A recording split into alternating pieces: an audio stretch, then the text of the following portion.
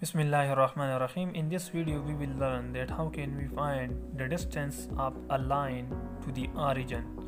So remember if we consider a line in xyz plane so the line general form will be ax1 plus by1 plus c is equal to 0. This is the general uh, equation of the line. So if we are going to find out the distance of this line to the origin and origin also will be lie in xyz xy plane. So this x is 0 and y is 0 how can we find? So there's a very simple formula. The distance in between the line and the origin is ax1 plus by1 plus c divided by square root of a square plus b square through this formula we can easily find the distance.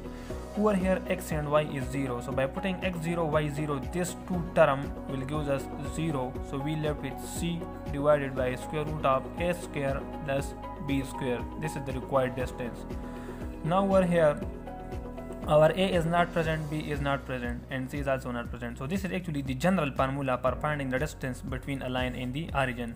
Now we suppose a, uh, a line 2x plus uh, 3y plus 10 is equal to 0 and uh, we are going to find out the distance between this line and the origin 0 0 so using the same formula d is equal to c divided by square root of a square plus uh, b square.